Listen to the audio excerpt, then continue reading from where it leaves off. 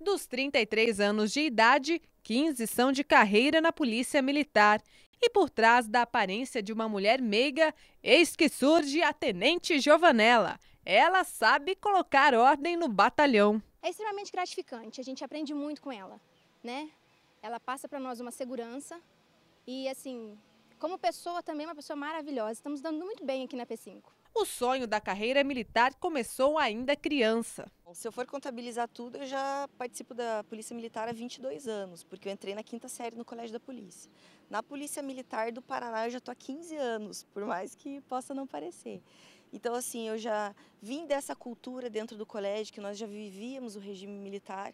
E na época nós podíamos entrar para a Academia do Guatupê, né, para o curso de oficiais direto pelo Colégio da Polícia. E como eu fui a primeira colocada da turma, eu tive acesso à vaga e me interessei por, por fazer o curso. A rotina no quartel é intensa e, mesmo assim, depois de cuidar da segurança pública, é a vez da médica Michele entrar em ação. Mas não para por aí. Além de ser tenente e médica, Michele consegue organizar o seu tempo e ainda se dedicar ao fisiculturismo.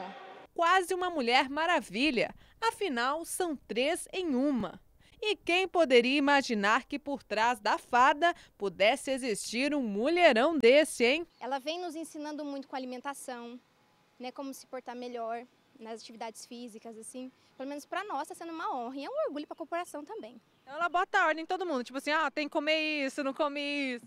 Rigorosíssima. Eu que sou comelona de doces, né, adoro uma bolacha, um chocolate, ela me corta o tempo todo, me corrige o tempo inteiro. O gosto pelo fisiculturismo começou por acaso. Então, surgiu do nada, na verdade. Eu estava treinando forte porque eu queria estar bem para minha formatura de medicina. E a minha preparadora, Kelly, falou: Michelle, acho que você está em condições de competir. Eu, como assim? Competir em quê, né?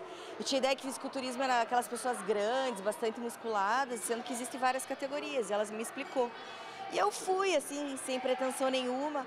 Acabei sendo vice do estreantes e acabei logo em seguida ganhando o Campeonato Paranaense. Assim, foi tudo muito rápido e sem eu esperar, assim. Nunca pensei, na verdade. Foi uma surpresa na minha vida. Atualmente, Michele é campeã paranaense de fisiculturismo na categoria Bikini Fitness. 24 horas por dia parece pouco para quem concilia três carreiras: médica, tenente e fisiculturista.